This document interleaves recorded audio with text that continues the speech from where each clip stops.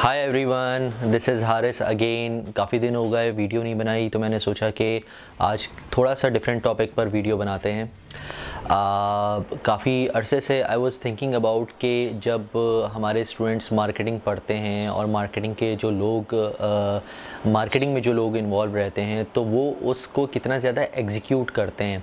और मैंने बहुत ज़्यादा नोटिस किया है कि एग्जीक्यूशन लेवल पर जो है ना, हम कहीं ना कहीं मार खा रहे होते हैं। और प्रॉबली यही वजह है कि जो हमारी जो लोकल ब्रांड्स हैं, वो इतनी पॉपुलेशन होने के बावजूद वो स्ट्रगल करती हैं in terms of sales in terms of brand building in terms of building their brand equity in terms of building their customers as well अगर आप नोटिस करें तो उसकी जो सबसे बड़ी वजह ये होती है कि जो कुछ हम बुक्स में पढ़ते हैं, हम उसको प्रॉपर प्रॉपरली जो है स्ट्रेटजाइज कर कर नहीं पाते, उसको इम्प्लीमेंट नहीं कर पाते हैं और हमें लगता है कि वो शायद जो बुक्स हैं, क्योंकि अमेरिकन बुक्स हैं या ब्रिटिश बुक्स हैं तो वो उनके जो सिनेरियोज जो उसमें बताए होते हैं, वो पाकिस्तान में इम्प्लीमेंट होते नहीं हैं, या नहीं हो सकते हैं। जबकि ये बात बिल्कुल गलत है बिकॉज़ अगर हम उसको नोटिस करें और उन उन बुक्स में से अगर हम चीज़ें निकालने की कोशिश करें तो वी विल रियलाइज़ कि उनमें से बहुत सी ऐसी चीज़ें, और प्रॉबली 90 परसेंट ऐसी चीज़ें होती हैं जो कि पाकिस्तान में इम्प्लीमेंट हो सकती हैं, लेकिन प्रॉब्लम यह है कि आपको ऑब्वियसली पाकिस्तान की मार्केट के लिहाज से उसको थोड़ा सा ट्विक करना पड़ेगा, जो कि ट्विकिंग वाला जो प्रोसेस होता है, वो अक्सर मिसिंग होता है बिकॉज़ हमारा जो फोकस सारा रहता है कि बस आज भेज दो, कल की कल देखेंगे। अब ये एक बहुत बड़ी प्रॉब्लम है। अब मैं आपको एक एग्जांपल देता हूँ। फॉर एग्जांपल मार्केटिंग के जो, जिन्होंने मार्केटिंग पढ़ी है या बिज़नेस पढ़ा है, उनको पता है कि मार्केटिंग के फोर पीस होते हैं। ठीक है? प्रोडक्ट होता है प्राइस होता है प्लेस होता है एंड प्रमोशन होता है। ठीक है? हमारा सारा फोकस प्रमोशन पे चला जाता है, हम प्रोडक्ट का ख्याल ही नहीं रखते हैं, ठीक है? अच्छा प्रोडक्ट जब आप बनाने जाते हैं तो उसके लिए एक बहुत ज़्यादा इंपॉर्टेंट चीज़ जो होती है, वो होती है रिसर्च आपकी रिसर्च अच्छी होना बहुत ज़्यादा ज़रूरी है। Let me give you example for example एक बंदा जिसने बिल्डर है फॉर एग्ज़ाम्पल वो कंस्ट्रक्शन कंपनी का ओनर है, उसने सोचा कि यार मैं बिल्डिंग बनाता हूँ ना, सही है।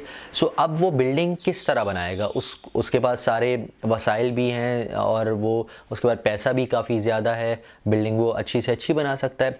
लेकिन लेट सी उसने ये सोचा कि यार मेरी प्रॉफिटेबिलिटी सबसे ज़्यादा कहाँ पर कहाँ से आएगी? तो उसको थोड़ी सी पहले रिसर्च करनी पड़ेगी कि लेट से कि किस एरिए में किस किस्म के लोग रहते हैं, सही, उनकी क्या रिक्वायरमेंट्स हैं और क्या उनकी उतनी बाइंग पावर है, जिस किस्म की मैं चीज़ बनाने जा रहा हूँ। सही लेट से कि आप महँगी चीज़ बना सकते हैं, लेकिन ख़रीदने वाले उतने उस पर्टिकुलर एरिया में नहीं है तो प्रॉबली आपकी चीज़ फेल हो जाएगी, या उस तरह आपका नाम पैदा नहीं होगा। फॉर एग्ज़ाम्पल अगर आपने वो चीज़ बना भी ली बिल्डिंग बना भी ली सही है तो एक दफ़ा आप बना लेंगे। सही है, उसी का दूसरा प्रोजेक्ट जब आप बनाने जाएँगे तो शायद लोग आपके पास नहीं आए। तो इट्स वेरी इंपॉर्टेंट कि उस चीज़ को समझना, जो मैं कह रहा हूँ बार बार रिसर्च कि कस्टमर की क्या रिक्वायरमेंट है। उसके बेस पर आप प्रोडक्ट बनाते हैं। उसी के बेस पर once you know about your customers उसी की बेस पर आप प्राइसिंग करते हैं कि यार ये प्राइस सही रहेगी और इस प्राइस के लिहाज से मेरा फ्लैट जो मैं बना बना रहा हूँ अपार्टमेंट बना रहा हूँ, वो बिक सकेगा, तेज़ी में बिक सकेगा, लोग ले सकेंगे। ठीक है? तीसरी चीज़, कौन, किस जगह पर आप बना रहे हैं? जगह इज़ वेरी इंपॉर्टेंट कि आप जिस जगह पे भी जा रहे हैं, क्या आपके कस्टमर एग्जिस्ट करते हैं वहाँ पर? सही है? क्या उनके पास इतना पैसा है कि आपकी प्रोडक्ट ले सकें? सही है, क्या अगर उनका जो सर्टन लाइफ स्टाइल है, जिस किस्म का वो लाइफ स्टाइल चाहते हैं फॉर एग्जांपल कुछ ऐसे लोग होते हैं जो जो कि चाहते हैं कि शॉप्स करीब हो जहाँ पे उनका घर है। कुछ ऐसे लोग होते हैं कि नहीं यार, हमें बहुत सुकून वाली जगह चाहिए, हमें शॉप्स करीब नहीं चाहिए, हमारे पास गाड़ी है, जब भी लेना होगा गाड़ी में जाएँगे और लेकर आ जाएँगे। सही है कमर्शल और नॉन कमर्शल का डिफरेंस जो होता है। ये मैं सिर्फ़ कंस्ट्रक्शन कंपनी की एग्जांपल दे रहा हूँ। इसी तरह वो जगह होना ज़रूरी है। इसी तरह फिर जब आप प्रमोशन करेंगे तो आपको ये देखना होगा कि आपके जो कस्टमर्स हैं फॉर एग्ज़ाम्पल डिजिटल पर ज़्यादा रहते हैं टीवी ज़्यादा देखते हैं रेडियो ज़्यादा सुनते हैं ठीक है? बिलबोर्ड ज़्यादा देखते हैं ट्रैवलिंग पे यूजली रहते हैं। आ, मतलब उनकी ये सारी इंसाइट्स पता होना बहुत ज़्यादा ज़रूरी होता है। हमारे साथ प्रॉब्लम ये होती है पाकिस्तान में स्पेशली मैंने ये नोटिस किया है कि हम प्रोडक्ट बना लेते हैं जल्दी से और बस फिर हम सेल्स टीम को फोर्स करते हैं कि बेचो बेचो बेचो। क्योंकि हमारी मार्केटिंग की इंसाइट्स उस तरह नहीं होती हैं कि जो कि हेल्प आउट कर सके इस पूरे प्रोसेस को प्लस सेल्स टीम को कि उन्होंने अगर कोई प्रोडक्ट बेचना है तो किस तरह बेचना है। उससे होता ये है कि ओवरलैपिंग हो जाती कैनिबलाइजेशन हो जाती। कैनिबलाइजेशन बेसिकली बोलते हैं कि जब एक प्रोडक्ट आपने बनाई और उसी और उसी कंपनी ने उसी जैसी प्रोडक्ट दोबारा बना ली। तो अब वो उन दोनों की सेल्स टीम आपस में जो है, उनमें जंग चल चलती है कि कौन ज़्यादा सेल्स करेगा। और जो सेल्स प्रोडक्ट ए की होनी चाहिए थी, वो प्रोडक्ट बी ले जाती है। जो प्रोडक्ट बी की होनी चाहिए थी, वो प्रोडक्ट ए ले जाती है। और फिर उसमें जो और दूसरे मसले मसाले होते हैं, वो तो अपनी जगह हैं।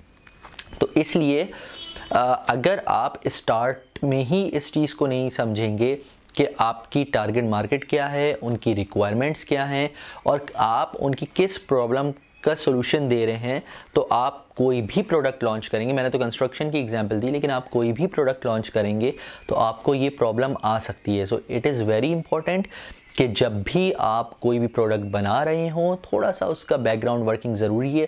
सेकेंडरी रिसर्च तो बहुत ही ज़्यादा ज़रूरी है, लेकिन अगर प्राइमरी भी कर सकते हैं तो नथिंग लाइक इट बहुत सा डेटा अवेलेबल होता है। गवर्नमेंट की तरफ़ से डेटा अवेलेबल होता है। गैलप की रिपोर्ट्स होती हैं, अगर पाकिस्तान में आप बात करें, सही है? ए सी नीलसन एक बहुत अच्छी रिसर्च एजेंसी है, उनकी रिपोर्ट्स होती हैं। सो वो रिपोर्ट्स जो होती हैं, वो इसीलिए होती है और इसीलिए बाय की जाती है कि ताकि उससे आपको ये पता चल सके कि आपकी जो मार्केट की रिक्वायरमेंट है, वो कैसी है। अब पाकिस्तान की अगर एग्जांपल है पाकिस्तान में क्योंकि जी 20 करोड़ 22 करोड़ का मुल्क है तो किसी ना किसी तरह प्रोडक्ट बिकी जाएगी। लेकिन इधर भी इतनी प्रोडक्ट्स जो हैं, बहुत सी प्रोडक्ट्स ऐसी हैं जो कि एक सर्टन कैटेगरी को टारगेट कर रही होती है क्योंकि उनके पास बाइंग पावर है। सही है? वॉट इफ़ के अगर आप प्रोडक्ट्स को टारगेट करें मासेस को सही है फॉर एग्जांपल अगर पाकिस्तान में मेल न्यूट्रिशन का एक बहुत बड़ा मसला है, जिसको गवर्नमेंट बहुत ज़्यादा हाईलाइट करती है तो व्हाट इफ़ अगर कोई प्रोडक्ट जो है मेल न्यूट्रिशन के लिए बने, या या स्पेशली जो मासेस है, जो, जिन बच्चों को पूरी खुराक नहीं मिलती है, उनके लिए बने। तो मतलब ये एक मैं सिर्फ़ एग्ज़ाम्पल दे रहा हूँ कि इस तरह research always helps to come up with better products और उसमें इंग्रेडिएंट्स या उसमें क्वालिटीज़ आप ऐसी डाल सकते हैं, जो कि लार्जर ऑडियंस को आप जो है ना अट्रैक्ट कर सकते हैं रादर दैन कि आप छोटे से चंक को अट्रैक्ट करें और फिर इमेजिन करें कि एक ही छोटी सी मार्केट है जिसमें 100 प्रोडक्ट्स घुस गई तो कंपटीशन ऑब्वियसली ज़्यादा होगा। सही कंपटीशन ज़्यादा होगा तो आपके प्रॉफिट मार्जिन कम होंगे। जब प्रॉफिट मार्जिन कम होंगे तो फिर आप उसी तरह स्ट्रगल करेंगे जिस तरह यूजली बिज़नेस में करते हो। दैट्स वाई आई से कि whenever you talk about marketing there are lot more which comes under marketing जो कि हम लोग उसको एग्जीक्यूट बिल्कुल भी नहीं करते हैं और हम लोग मतलब हमारी जो थिंकिंग जो है थिंक थिंकिंग हमारी एज सच नहीं होती। एंड Uh, एक बहुत ज़्यादा इंपॉर्टेंट uh, uh, चीज़ ये भी होती है कि थोड़ा सा लॉस बर्दाश्त करने का आप जो हैं लॉस बर्दाश्त करने की सलाहियत रखें। सही है? क्योंकि लॉस अगर आपको आज होता है तो कल आपको वो फ़ायदा दे सकता है। सही? कस्टमर्स जो होते हैं डोंट लूज़ योर कस्टमर्स सही है? You can lose a product but if you lose a customer तो वो कस्टमर दोबारा आपके पास वापस नहीं आएगा, चाहे आप दूसरी कोई भी नई प्रोडक्ट आप कर कर लें। फॉर शॉर्ट टर्म के लिए तो आपको शायद फ़ायदा हो जाए लॉन्ग टर्म में आपको फ़ायदा नहीं होगा, और दैट्स वाई अगर आप मल्टी ब्रांड्स देखें नाइकी देखें एडिडास देखें तो वो लोग इसी वजह से बहुत ज़्यादा काम करते हैं कस्टमर इक्विटी पे।